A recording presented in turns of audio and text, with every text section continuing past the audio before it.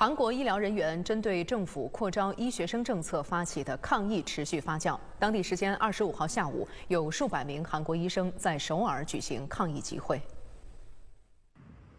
二十五号，韩国大韩医师协会召开全国医生代表会议。大韩医师协会表示，韩国政府推行的扩招医学生政策会使韩国整体医学教育水平降低。扩招医学生并不能解决韩国面临的医疗资源不均衡等问题，要求政府撤回扩招政策。会议结束后，数百名来自韩国各地的医生代表举行抗议集会。同一天，韩国政府表示将继续推行扩招政策，并将对医生集体辞职离岗的行动做出迅速的司法处理。大韩医师协会则警告称，如果政府强硬推行扩招，医生群体将继续举行抗议。受医生抗议活动影响，韩国多家大型医院表示已纷纷取消或延期部分手术及诊疗日程。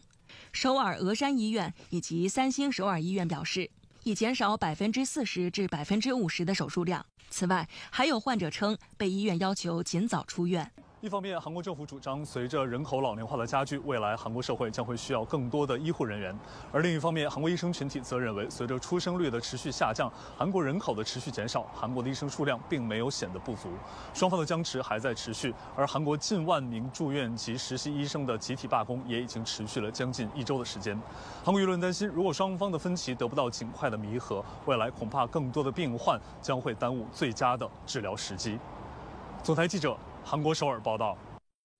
据韩联社二十六号报道，反对韩国政府医学院扩招政策的住院和实习医生集体辞职已持续一周。近期，部分医院又出现专科培训医生离岗迹象，甚至部分医大毕业生也放弃了实习聘用合同。预计这将会进一步加剧医疗混乱。二十六号，韩国行政安全部长官李祥敏敦促参与集体行动的实习和住院医生正视当前情况的严重性，呼吁他们尽早返回岗位，并承诺医生们如果能够在二十九号之前返岗，那政府将不追究责任。据韩国医界二十六号消息，为了应对集体离职所带来的影响，首尔主要大型医院将手术和诊疗日程减半，那利用专培医生和教授等人力来弥补空缺。